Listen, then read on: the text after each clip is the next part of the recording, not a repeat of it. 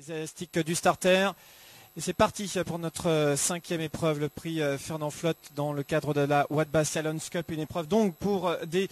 pur sang arabes avec Flash de Faust qui a pris tout de suite l'un des meilleurs départs avec également le numéro 3 Risque Tout en casaque grise qui vient pour l'instant en deuxième position. Les concurrents qui vont bientôt sortir du tournant pour aborder la dernière ligne droite Risque Tout avec à son extérieur Gibouli du Jura